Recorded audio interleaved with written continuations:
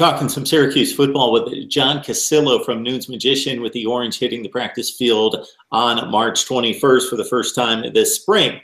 Eric Dungey with uh, substantial improvement as a quarterback uh, last season under Dino Babers and uh, the rapid fire offense. Uh, I think there are some aspects, uh, possibly, John, to the offense that lends itself to protecting the quarterback, getting the ball out of the hand quickly. At the same time, a ton of dropbacks. It's not like you're throwing the ball 22 times and handing it off the other 50 or 55. Uh, a lot is put on the quarterback, and anytime he's got the ball in his hands that many times, he's in harm's way.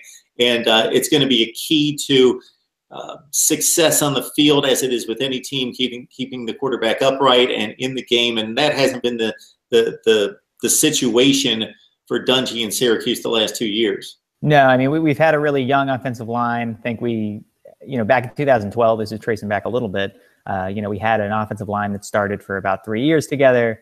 Uh, there were guys who grew together, grew with the team. That 2012 team was pretty good, went eight and five.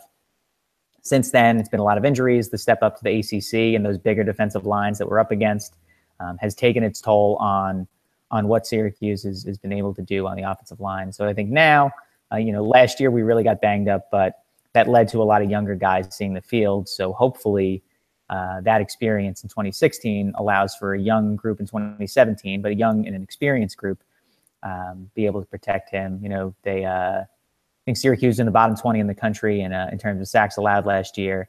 Uh, Dungey obviously takes off quite a bit himself. Um, and you saw that uptick as the year went on last year um, when he felt like he had to kind of play hero ball, take the, the offense into his own hands. Uh, that's when you started seeing him get hit more. And that has a lot to do with the offensive line being able to protect him, but it also has a lot to do with him also taking some unnecessary risks and ones that the uh, the coaching staff has expressed numerous times they'd, they'd love it if he took a few less.